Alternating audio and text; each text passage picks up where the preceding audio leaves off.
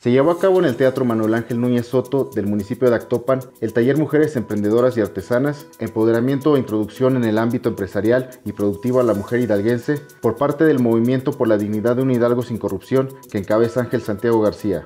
Media TV estuvo ahí y captó las impresiones de los involucrados en esta actividad. Obviamente el objetivo es ese, que la población tenga otra visión de la economía que las mujeres tengan la posibilidad de tener herramientas para que ellas puedan también buscar el empoderamiento y el autoempleo. La Secretaría de Desarrollo Económico y en el Instituto Hidalguense de Competitividad Empresarial estamos muy interesados por instrucción del gobernador en buscar ese acercamiento con la población. Tengo clarísimo que el tema de la capacitación es un tema fino porque les permite que ellas solitas tengan la posibilidad de construirse, de construir para la sociedad, para sus familias para poder llevar a cabo a flote un emprendimiento exitoso. Hubo convocatoria de hombres, de mujeres, y eso es importante porque damos a conocer la importancia de este día y ellos están en la disposición de ser aliados y cómo pudiéramos por medio de las instituciones de hacer una colaboración y que el día de la mañana estas mujeres tengan una autonomía económica.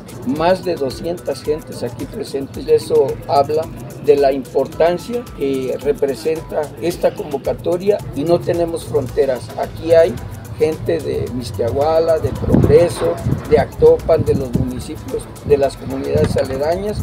Estamos en ese, en ese tenor de trabajar en beneficio de la sociedad civil, hombres y mujeres que construyen las riquezas de este país.